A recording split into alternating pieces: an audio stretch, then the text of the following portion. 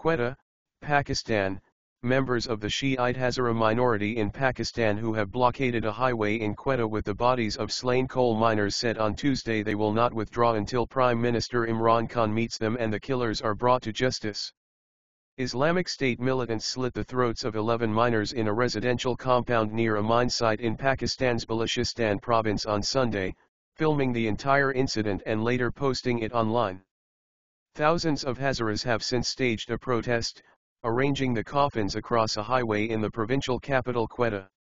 We have become tired of picking up the bodies of our people, Syed Agha Raza, a Hazara Shiite political leader, told Reuters. Maysuma Yaqub Ali told Reuters her elder brother along with four other relatives were among those killed.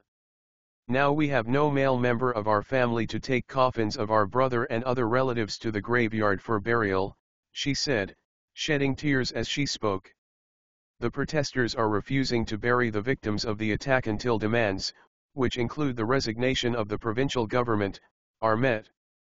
Protests also occurred on Tuesday in Karachi, Pakistan's large southern city.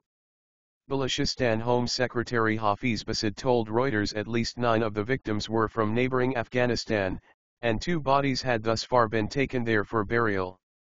Afghanistan's Foreign Office said in a statement that seven of the dead were Afghan, and both sides were investigating the incident together. Hazaras have faced persecution by extremists in both countries, where Sunni Islam predominates. Some Afghan Hazaras come to Pakistan for work in the winter, including at the coal mine in Balochistan.